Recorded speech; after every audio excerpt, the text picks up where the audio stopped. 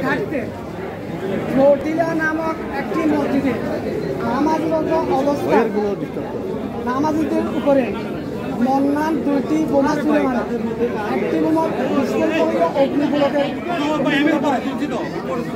কিছুক্ষণ পরে একটা পঁয়তাল্লিশ মিনিটের সময় রমজান তৃতীয় বোমাটি নিক্ষেপ করে আরেকটি মসজিদে সেখানে আহত হয়। আসামি হল টোটাল পাঁচজন তার মধ্যে শাখাবাদ পলাতক।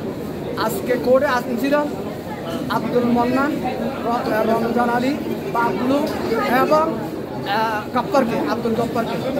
পলাতক পলাতক সহ এই পাঁচজনের বিরুদ্ধে সন্ত্রাস বিরোধী বিশেষ ট্রাইব্যুনালে ট্রাইব্যুনালে সুস্পষ্টভাবে আনিত অভিযোগ প্রমাণিত হওয়ায় মাননীয় বিচারক জনাব আব্দুল হালিম মহোদয় মহোদয় এদেরকে প্রত্যেককে প্রত্যেককে ফাঁসি দিয়েছেন এবং প্রত্যেককে পঞ্চাশ হাজার টাকা করে জরিমানা করেছেন। জরিমানা কি অনাদায়ী কোনো ইয়ে আছে? অনাদায়ী নেবে মৃত্যুদণ্ড হলে পঞ্চাশ হাজার টাকা অবজারভেশনে কিছু বলছে? অবজারভেশনে কি বলছে? অবজারভেশন তো যেটুকু বললাম এইটুকুই আরেকগুলিতে হলো ভাই আলোচ্য বিষয়। আরেকগুলিতে হলো তো আলোচ্য বিষয়। সত্য উন্মোচন হলো। যারা দেশ মাতৃকা রক্ষার জন্য সার্বভৌমত্ব রক্ষার জন্য আমাদের সার্বভৌমত্ব এবং সার্বভৌমত্ব এবং স্বাধীনতা রক্ষার জন্য সমুদ্র সীমার অতন্দ্র অতন্দ্র প্রহরী এই কথাটা লিখবেন। সমুদ্র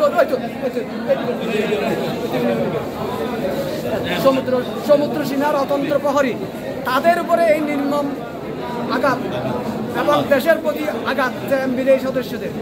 এবং ন্যায় বিচার প্রতিষ্ঠা হয়েছে মর্মে আম- আমরা রাষ্ট্রপক্ষ সন্তুষ্ট এই মামলাটি ঘটনার প্রায় এক বছরের কাছাকাছি সময় পরে মামলাটি দায়ের করা হয় এবং একটা স্পর্শকারী গুরুত্বপূর্ণ মামলা।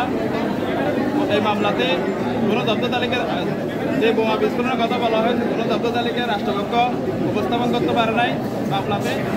এরপরে এই আসামিগুলো গ্রেপ্তার করা হয়েছে এবং অনেকগুলো সাক্ষী তহবিল নেওয়া হয়েছে।